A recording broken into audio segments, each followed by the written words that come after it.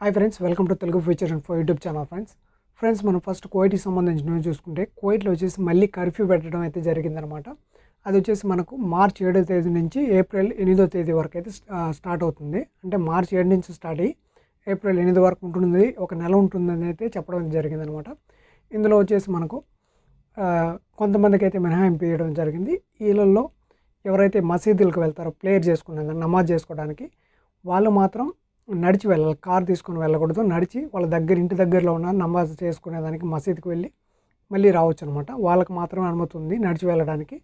ఇంకోటి వచ్చేసి ఫార్మసీస్ అలాగే మెడికల్ సప్లైస్ స్టోర్స్ అలాగే సూపర్ మార్కెట్స్ వీటికైతే ఆన్లైన్ డెలివరీ సర్వీస్ అయితే ఉంది.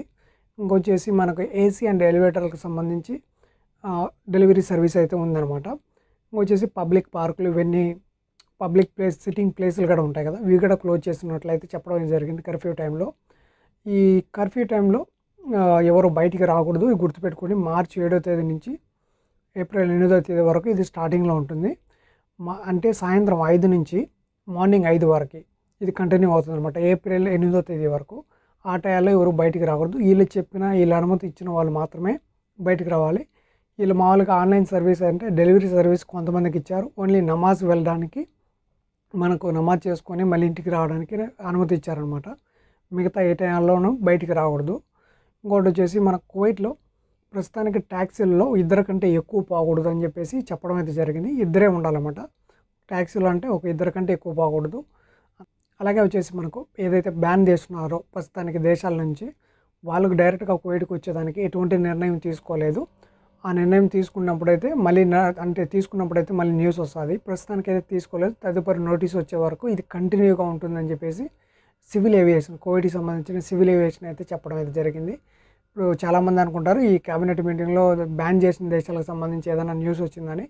ఎటువంటి న్యూస్ అయితే రాలేదు. దాన్ని అయితే ప్రస్తుతానికి తదుపరి నోటీస్ వచ్చే వరకు కంటిన్యూ చేస్తామని అయితే చెప్పడం జరిగింది సివిల్ ఏవియేషన్ కోవిడ్కి సంబంధించి. అలాగే వచ్చేసి మన ఇండియన్ ఎంబసీ కోవిడ్లో ఇండియన్ ఎంబసీ వచ్చేసి నాలుగో తేదీ వరకు అయితే మార్చి నాలుగో తేదీ వరకు అయితే క్లోజ్ చేస్తున్నట్టయితే చెప్పడం జరిగింది కరోనా టీకాల కోసం. ఇప్పుడైతే ఇండియన్ ఎంబసీ పదకొండో తేదీ వరకు అయితే దీని అయితే కంటిన్యూ చేస్తామని చెప్పేసి పదకొండో తేదీ వరకు క్లోజ్ చేస్తామని చెప్పేసి చెప్పడం జరిగింది.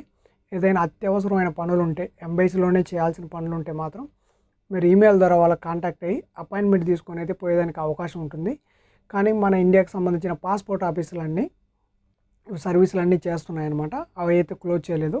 మన పాస్పోర్ట్కి సంబంధించిన రెన్యువల్ కానీ లేదా పాస్పోర్ట్కి సంబంధించిన ఏదైనా ఉంటే ఈ మనకు జలిఫ్ షోకు అలాగే వచ్చేసి మనకు షర్క్లో ఉంది. షర్క్ బేబాన బిల్డింగ్ దగ్గర ఉంది. అలాగే వచ్చేసి మనకు ఫైల్లో కూడా ఉంది. ఈ ఈ మూడు ప్రదేశాల్లో మన పాస్పోర్ట్కి సంబంధించిన రెన్యువల్ అనేది చేసుకోవచ్చు. యథాప్రకారం ట్వంటీ ఫోర్ అవర్స్ పనిచేస్తూ ఉంటాయి. దానికైతే కోవిడ్కి సంబంధించిన న్యూస్ అయితే ఇదే అనమాట మనకి ఎటువంటి కొత్తగా న్యూస్ అయితే లేదు. ఓన్లీ కర్ఫ్యూకి సంబంధించి అలాగే వచ్చేసి ఈ బ్యాన్ దేశాలు ఎప్పుడు ఓపెన్ చేస్తారు. అనే దాని గురించి అయితే న్యూస్ రాలేదు. కర్ఫ్యూకి సంబంధించి న్యూస్ రావడం జరిగింది మన ఇండియన్ ఎంబసీ ఇటువంటి అప్డేట్స్ ఇంకా మీకు కావాలనుకుంటే మన ఛానల్ సబ్స్క్రైబ్ చేసుకుని ఫాలో అయ్యేదానికి అయితే ట్రై చేయండి friends thank you for watching my video జై హింద్